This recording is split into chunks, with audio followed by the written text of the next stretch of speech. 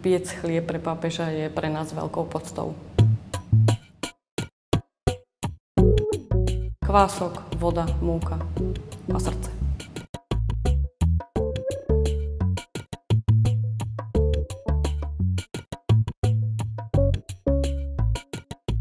No, ten chlebík sa robil dva dní dopredu, takže to robili kolegyne a oni určite mysleli na posolstvo, aj e, to dobré, čo ten chlebík obnáša a možno aj e, ľudia, ktorí nemajú možnosť ten chlieb jesť.